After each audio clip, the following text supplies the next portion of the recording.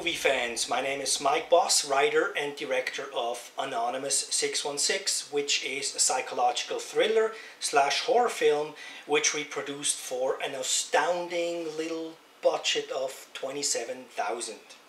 Now we already got great reviews from some independent movie critics and I would assume that most of the people have understood the movie, but I do come across comments and discussions on the internet of people who did not understand the movie and they would like to have an explanation and so on. So today I'm making this video in order to explain the film Anonymous 616. And if you haven't seen the movie yet, you should watch the movie first. You can watch it uh, for free on Amazon Prime and it's also on Google Play and soon on iTunes.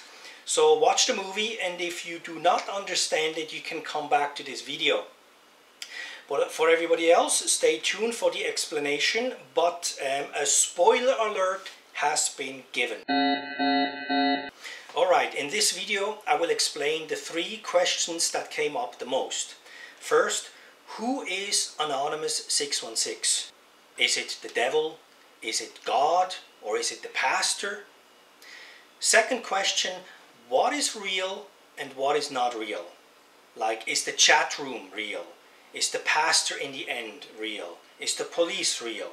All right. Third question Who is Pastor Warren and what, what does the ending mean? All right.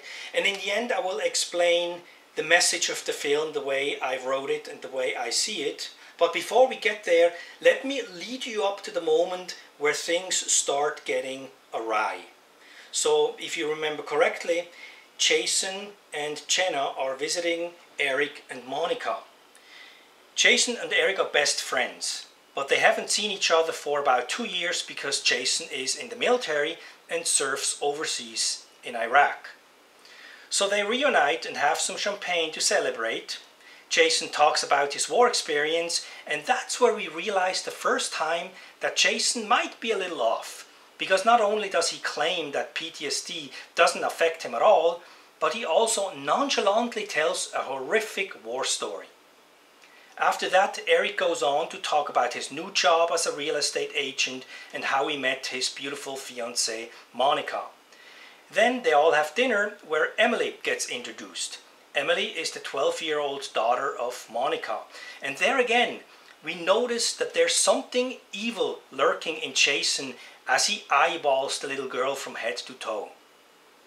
Later, the adults smoke some weed while Emily is in her room and watching a movie. So they talk about different ideologies and what's important in life.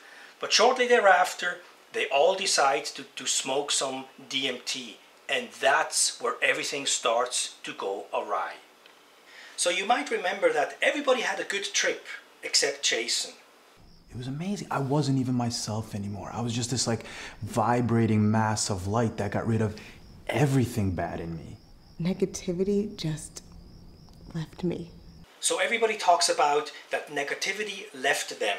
And in the movie that is portrayed with the black smoke that ultimately attacks Jason and makes him wake up with a gasp. so Jason's seed of evil that he already carries in him just got company by the negative black smoke and that's when he goes to throw up. Now it becomes even more evident that there's something wrong with Jason. After he spies on Emily, Jason gets alerted by a computer chime and notices that someone is calling him by his name. Now, that would be pretty creepy for anybody. I mean, it's not even his house and someone is writing to him. That would probably make anyone curious and anxious. But it gets worse because this anonymous person online not only claims but also proves that he or she indeed knows everything about Jason. And that brings us to our first question.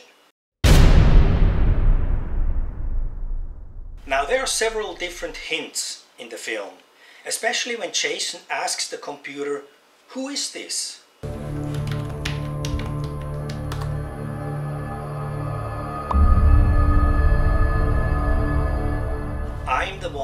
Knows everything about you. Now, later on, Jason gets a phone call from Kelly, the preacher's daughter, and he asks her, who knows everything about me? Who knows everything about me? Google. What? I'm kidding. Only God knows everything about you. And yourself, of course. So Kelly says, Only God knows everything about you, and yourself, of course. And if you remember, Jason even asks about the devil. And what about the devil? Does he know my thoughts too? No, as far as I know, the scripture doesn't say Satan or his demons can read your mind or thoughts. So he cannot be the devil. And I think it's safe to assume it's also not God, because God would not push Jason to kill all those people, right? So who's left? Only Jason himself.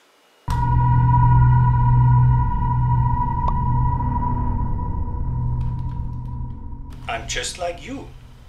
So the answer to the first question is Anonymous 616 is no one else but Jason himself. Okay, is the chat room real? There are two huge hints in the film that should make this clear, especially when Jason later on learns that the computer was not even plugged in.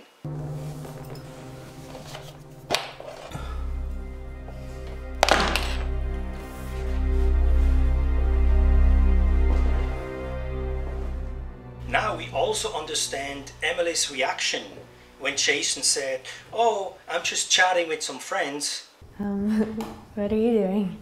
Nothing. I'm just chatting online with a friend of mine. You're funny. Why did she say that? You funny? Because in the flashback it is revealed that the computer screen was not even on. It was completely dark. So the answer is the chat room is not real. It's all in Jason's head. Now, is the pastor real? Well, we know that he gets shot in the end and nothing happens to him. So that's a pretty big indication that the pastor is not real. And the pastor also seems to know everything about Jason and later morphs into different people. So, no, the pastor is not real.